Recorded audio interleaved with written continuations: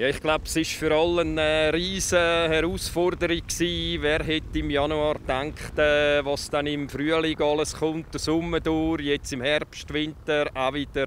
Ich glaube, eine riesige Herausforderung. Vieles passiert, was man nicht für möglich gehalten hat. Und ich glaube, es hoffen alle, dass es irgendwann dann wieder zurück in die Normalität geht.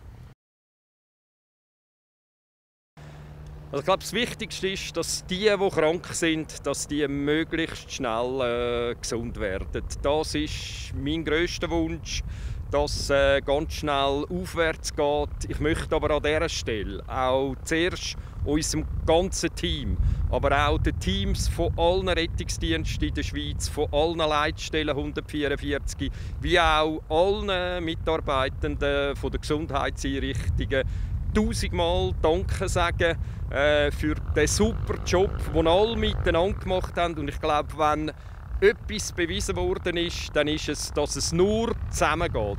Nur miteinander kommen wir durch diese Zeit durch.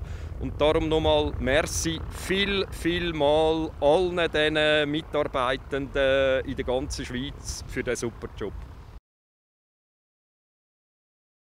Also die Idee ist eigentlich eine einfache, wo ich an der Ostern den Song von Heimweh gehört habe, zusammenheben, ist es, hat es bei mir Klick gemacht und ich habe gedacht, das ist genau der Song, den es braucht, um zu zeigen, wie die Rettungsdienste, wie die Leute in den Gesundheitseinrichtungen zusammenheben. Wir haben ja dann äh, im Ende Frühling bereits ein Video gedreht mit ganz vielen Rettungsdiensten, mit äh, vier von unseren Rettungshelikoptern.